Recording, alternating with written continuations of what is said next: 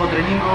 Dzisiaj lekko zmęczeni byli wszyscy, więc e, nie było aż tak ciężko jak ostatnio. E, ale za to utrudniliśmy sobie e, robiąc może mniejszymi ciężarami, ale robiąc więcej powtórzeń. Wszystkie ćwiczenia dzisiaj staraliśmy się robić w granicach 15-20 ruchów. Przerwy były krótkie, także była mocna pompa i naprawdę przynajmniej ja czuję bardzo, że dobrze weszło.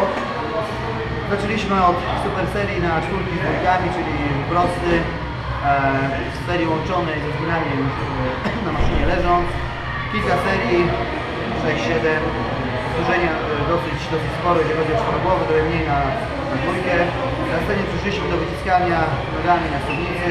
To było takie nasze główne ćwiczenie, zrobiliśmy tu naprawdę sporo serii, ale nie schodziliśmy z podniesienia 20. Następnym ćwiczeniem były przysiady, tym razem przed na maszynie.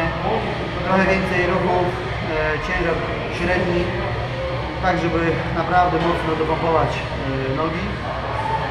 No i po, po tym ćwiczeniu przeszliśmy już do łydek. Na łydki zrobiliśmy trochę więcej ćwiczeń tym razem. Wiadomo, nie jest już tak bardzo wycieńczający trening, więc najpierw zaczęliśmy od suwnicy e, poziomej, potem zrobiliśmy spięcia stojąc, jednonóż super serii e, spięciami ale bez ciężaru i na końcu skończyliśmy spięciami w siadzie. Wszystko tak jak powiedziałem wcześniej, większa liczba ruchów, tak żeby dobrze dotknąć te mięśnie. E, Jutro e, kolejny trening, mam nadzieję, że chłopacy będą czuły się lepiej. Damy trochę większe ciężary, trochę większy hardcore, także do zobaczenia.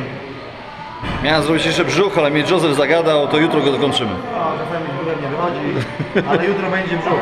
Jutro będzie brzuch. Czasami. Koniec czasami. Dzięki za trening, trzymaj się. Na razie, Krzykaj. Dobra. Dobra, ja dzisiaj to wrzucę? Dzisiaj to wrzucę.